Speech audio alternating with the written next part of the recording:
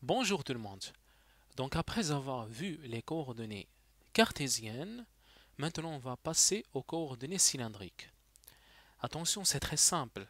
Quand on parle de coordonnées euh, cylindriques, c'est quand on a tout simplement une symétrie cylindrique.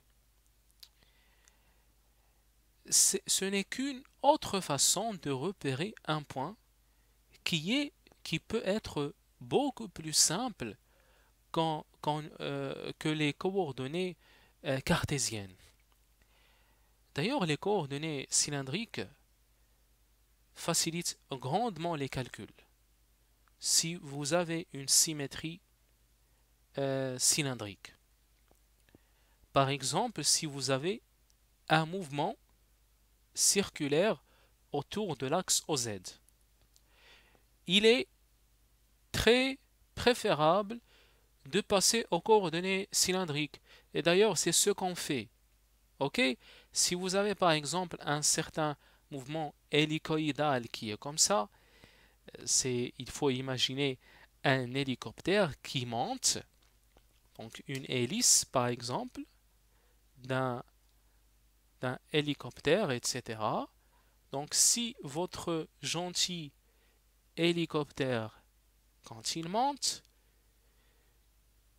un point qui appartient à cette hélice, il va vous décrire, donc on a d'abord un mouvement circulaire et cette translation.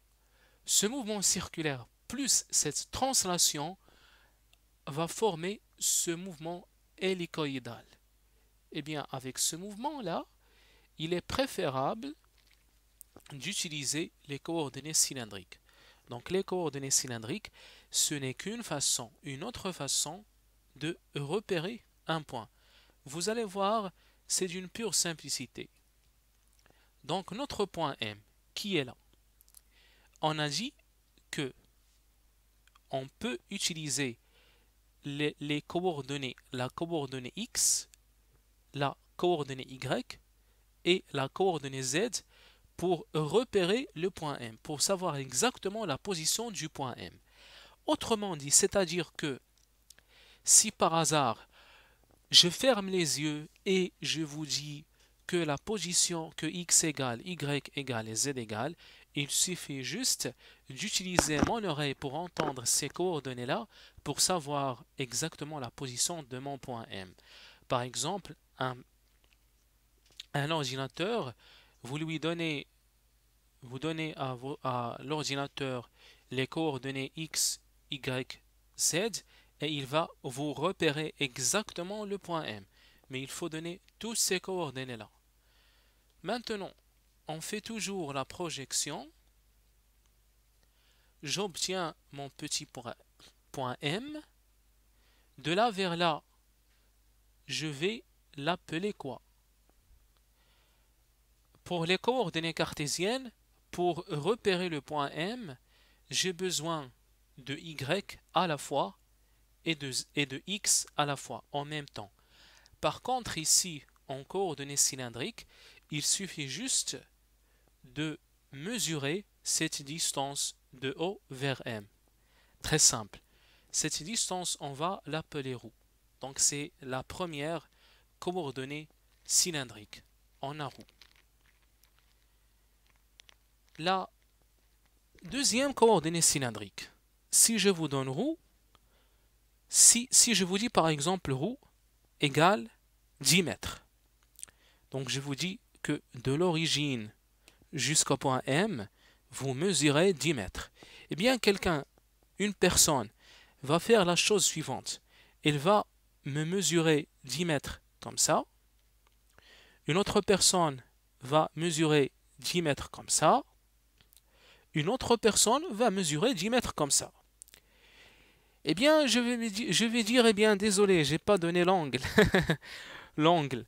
Eh bien, cet angle, qui est phi, c'est la deuxième coordonnée cylindrique.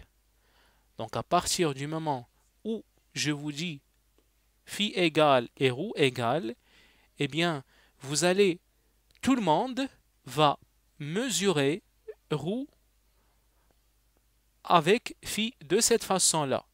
Mais quand même, quelqu'un va te la mesurer comme ça, une autre personne comme ça, une autre personne comme ça. Donc ce que je vais te dire, eh bien je vais te dire eh bien z égale telle ou telle euh, valeur. Donc la troisième coordonnée c'est z. C'est tout simplement ça. Pourquoi cette appellation de coordonnées cylindriques? Parce que tout simplement, si vous euh, fixez euh, et z et vous faites bouger phi, vous obtenez un cercle. OK? De rayon roue, on fait varier z au final, on obtient un, cylindre. Donc c'est pour cette raison qu'on appelle cela les coordonnées euh, cylindriques. Donc ce point M, il est repéré par roue phi et z avec, c'est très important, roue, elle est toujours supérieure ou égale à 0, toujours. Z, c'est le point commun entre les coordonnées cartésienne et les coordonnées cylindriques, compris entre moins l'infini et plus l'infini, et phi, il est compris, il peut prendre la valeur 0 sans prendre la valeur de pi. Attention, il ne prend pas la valeur de pi, le phi.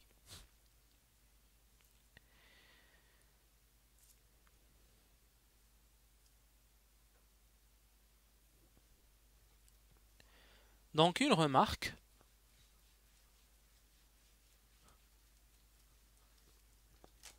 Remarque.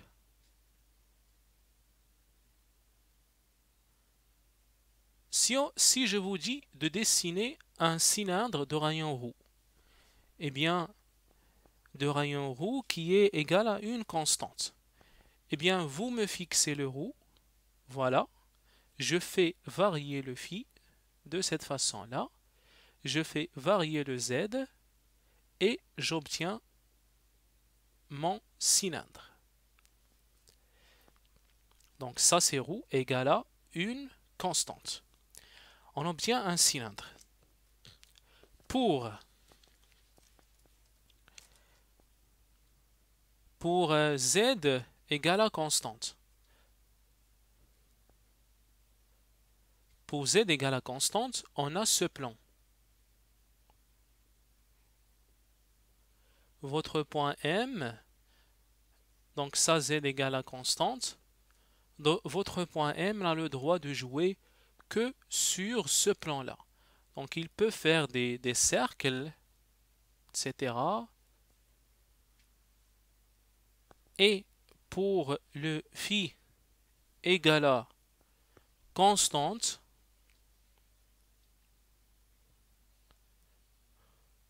vous avez ce demi-plan. Attention, demi-plan.